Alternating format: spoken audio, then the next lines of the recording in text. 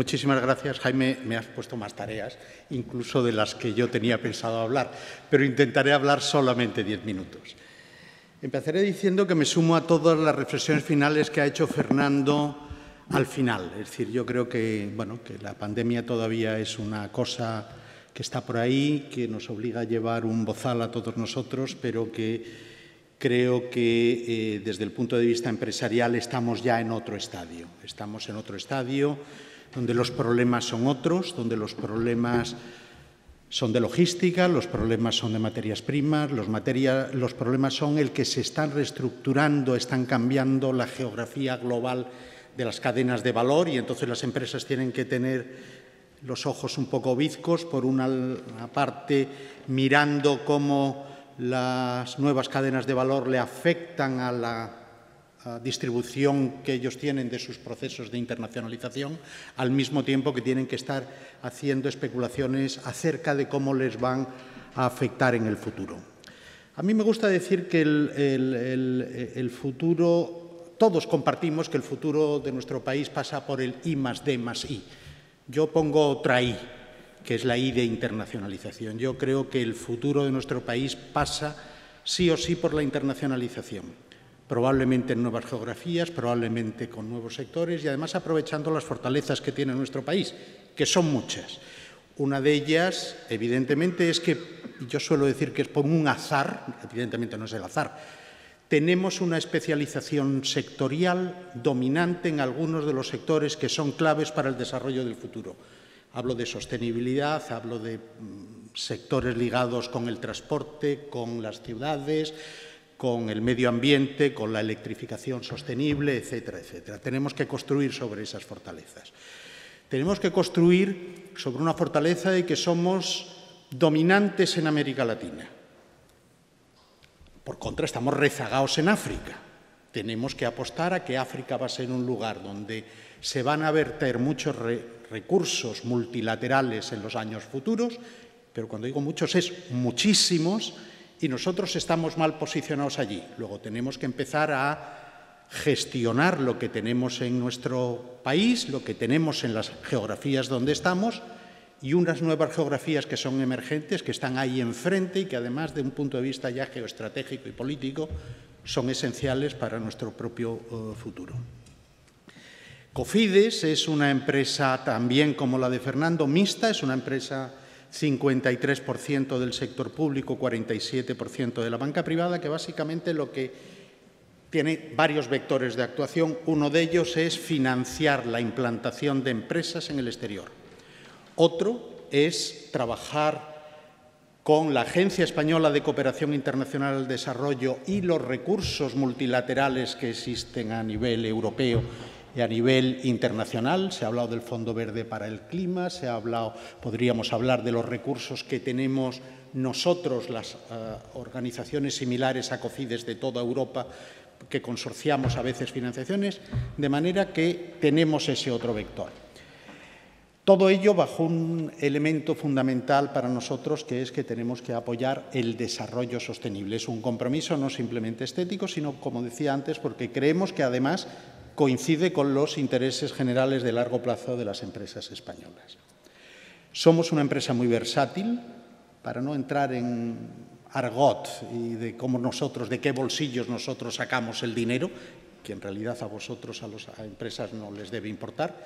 Nosotros, dependiendo del tipo de proyecto, sacamos los recursos de alguno de nuestros bolsillos, a veces son nuestros recursos propios, otras veces son los dineros de la, que nos asigna la Secretaría de Estado de Comercio, otros son los eh, recursos que utilizamos de, fondo, de fuentes multilaterales.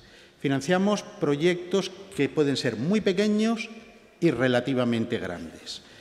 Nuestra financiación mínima puede ser de 75.000 euros. Nosotros hemos financiado la implantación en muchos países de, ingenierías españolas que necesitan, aquí sí, capital circulante para lanzarse y asentarse durante un tiempo, una cadena de ópticas. Es decir, muchas eh, empresas que no necesitan gran cantidad de capital fijo y necesitan pocos recursos.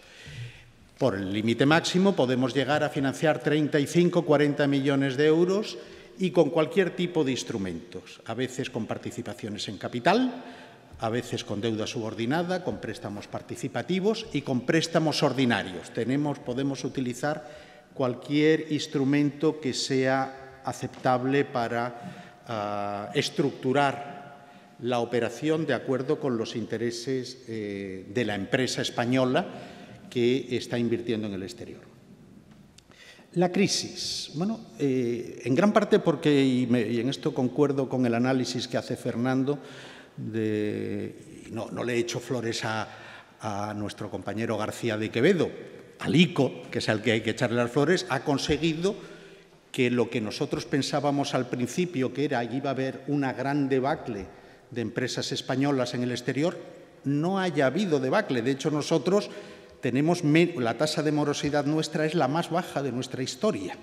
Lógicamente se debe a que hay un actor que es el ICO que ha inyectado recursos a las empresas y las empresas pues han aguantado el tipo apretándose el cinturón seguro, pero han tenido los recursos que les han permitido mal que bien sobrevivir. Digo, la tasa de morosidad nuestra está por debajo y una línea que nosotros hicimos, a la que se ha hecho referencia antes, una línea de fast track, que era para inyectar con la máxima rapidez liquidez en empresas si nos lo pedían, ha estado prácticamente sin usar. Los recursos están disponibles y hemos tenido pocas demandas.